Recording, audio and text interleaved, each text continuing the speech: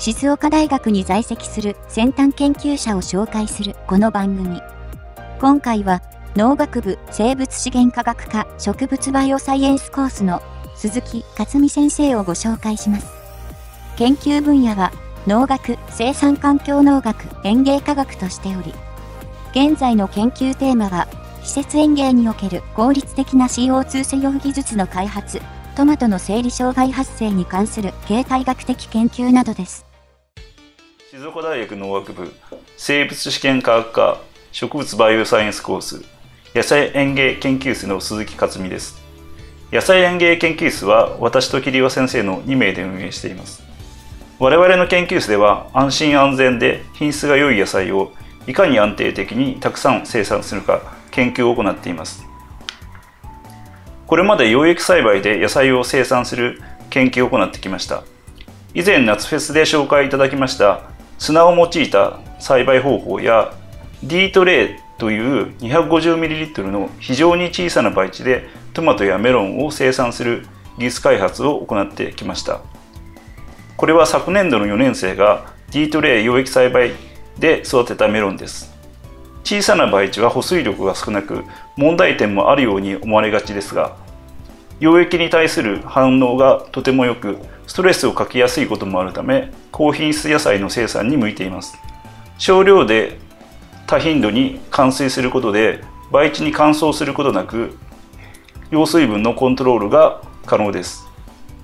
このシステムは小規模に作るのにも向いているため野菜園芸研究室の学生さんたちは自分の研究に使う溶液栽培システムを自ら作ったりしています。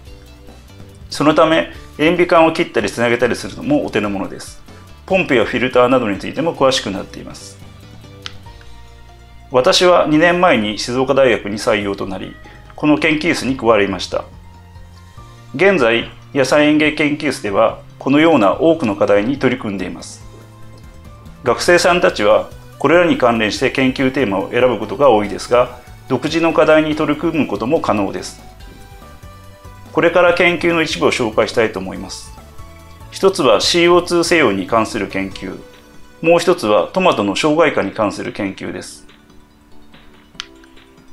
CO2 二酸化炭素は温室効果ガスとして問題とされています。世界的にも削減目標が定められ我々の社会全体で削減が求められています。発電や工業我々が生活する上でも多くの CO2 が発生しています。一方農業は CO2 を必要としています。植物は光のエネルギーを使って水と CO2 から糖を作ります。CO2 を与えることは光合成を増加させるため農業では増収のための有効な手段とされています。しかし現状日本では灯油を燃焼させ CO2 を作る方法が一般的です。そこで今後は工業などで出た CO2 を農業で使用し社会全体として CO2 削減を実現する環境負荷を低減していくクリーンな社会にすることが重要です、えー、学生さんに伝えたいことですが今回は次の3点を挙げたいと思います。1番目として観察力を身につけよう。2番目に、えー、助けてもらえる人になってほしい。3番目教養を身につけようです。仕事を行う上で幅広い教養はきっと役に立ちます。いろいろな知識を吸収し応用が効く人になってほしいと思います。教科書のようなものだけが教養を得るものではないです。今はネットやテレビ漫画映画などいろいろな情報が得られます。その中で本当に役に立つもの生きていくのに必要な教養を身につけて皆さんの今後の人生を豊かにしていってもらいたいと思います。静岡大学に在籍する先端研究者を紹介するこの番組。今回は農学部環境森林科学科の学科長である山田正明先生をご紹介します。山田先生の研究分野は科学複合科学高分子科学としており現在の研究テーマは新規木材用接着剤の開発木材用接着剤の物性と接着性です。皆さんこんにちは。農学部環境森林科学科の山田正明と申します。よろしくお願いいたします。本日は私の研究紹介ということでタイトルここに書いてございますように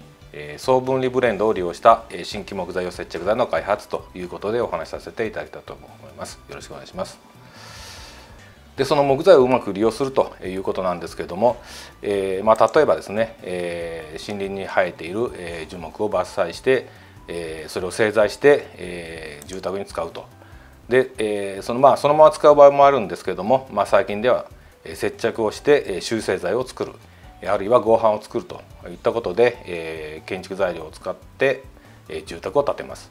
で日本の住宅の平均寿命というのが大体30年というふうに言われておりますけれども30年経ちましたらそれをすぐに焼却処分するというのではなく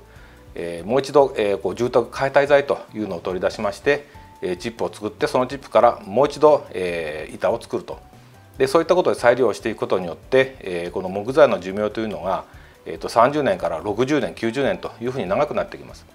でそのうちに山に育てました樹木が伐採時期を迎えるということでその樹木の育つスピードと木材を利用する期間とこの辺のバランスをうまくとっていくことによって、えまあ、炭素収支をゼロに近づけることもできるということになります。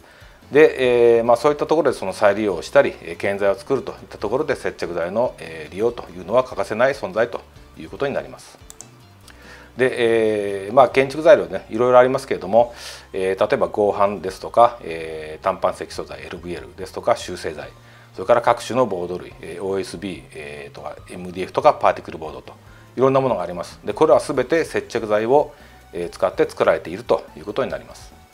でまた最近では、え、国産材の利用というのが非常に叫ばれておりますけれどもえ各地域で育った樹木を使ってえ、このようにですね構造用の大断面修正材を、え、使ってこれはあの一例として学校の例ですけれども、まあ、こういった大規模の木造住宅が建つようになってきておりますしそれから新しい材料としまして CLT というのがあります、え、直行修正板というんですけれども、これにつきましても地域材を使ってこれを接着して作るということで、ますます接着の利用というのは、促進されていく傾向にあります。で最後にあの学生の皆さんへの、言葉です。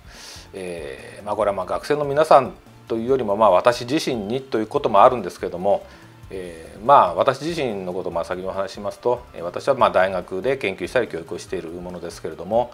えー、その大学の教員であるという以前にですね、まあ、一社会人でありますしその前にまあ一人の人間であります。で、えまあ、要するに人間としてまあちゃんと生きていけなければもうその大学の教員としてもちゃんとできるわけがないというのが、えー、いうふうに思うんですけれどもやはりですねその、えー、生き方をきちんとしたいというふうに思ってます。でそれにはですね常にやはり人のことをよく考えると人との関係を、えー、大事にしていくということが最も大事ではないでしょうか。まあ、それは私だけではなくて皆さん学生の皆さんにも、言えることだと思いますけれども、えー、人とか周りの環境に、まあ、いかに親切にできるかということを考えることが重要だと思います。人間は一人では生きていきませんので常に人のことや周りの社会とのつながりを考えていきましょう。でそうすればまあ、自分のためだけに自分勝手なことをするということもなくなるでしょうし、まあ、きっと人の役に立つ仕事というものができるはずです。まあ、そういう意味でも、え、学生の頃から自分の研究の社会的役割というのを常に考えていくというのは重要なことだと思います。まあ、その上で自分の興味のあることを追求していってほしいというふうに思います。でその2つ目ですがそのあの自分の興味あることを追求してほしいと思うんですけどもそのためにはですねやっぱり人がやらないことから教科書に書いてないことを一生懸命やってほしいと思います。えー、ま、学生さんとかくその人と違う行動をとるというのを嫌がるんですけれどもやはり人と違うことをやろうと人がやらないことっていうのはやはりそこには難しいなんかこうやりにくいことが多分あるんでしょうだけどもそれができれば本当はそれが一番役に立つことであるというふうに思います。からまあ最後に一番下に書いてありますけれども、まあ、これは最初のお話とも関係あるんですけれども私がやっている接着というのは物と物とくっつける学問です。でそのくっつけるものというのは木材木材の場合もあれば金属金属の場合もありますが、まあ、時々木材とか金属木材と金属というふうに違うものをくっつける場合もあります。でそのくっつけるものとして接着剤があるんですけどもその木材金属接着剤っていうのはみんな違うものですね。だからこれら3つをうまく、えー、まあ、作用させるというのは非常に難しいことであります。でこの接着をうまく、え行うためにはそのお互いのことをよく知らなきゃいけないと、え接着される材料の表面がどうなのかとかえ、その材料の伸び縮みとか硬さといったその材料の特性ですねそういったものをよく知っていないと接着ができませんしそれに合った接着剤を選ばないと、え、接着がうまくできません。まあこれが人のことを考えるというのと同じ意味であると思います。え、まあその結果うまく接着ができれば、まあ、今までにないいい特徴を持った新しい材料ができます。で我々人間の関係も、まあ、これと同じではないでしょうかと思います。まあ、ということを最後に述べまして終わりにしようと思います。どうもありがとうございました。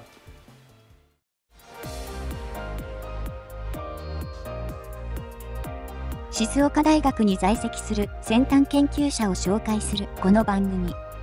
今回は静岡大学卓越研究者の川岸博和先生をご紹介します。川岸先生の研究テーマは、キノコの産生する生態機能調節物質に関する科学的研究など、多岐にわたって研究をなされています。川岸先生には、今回、天然からの新しい機能や構造を持った分子の発見、フェアリーリングを作る物質とは、をテーマにお話ししていただきます。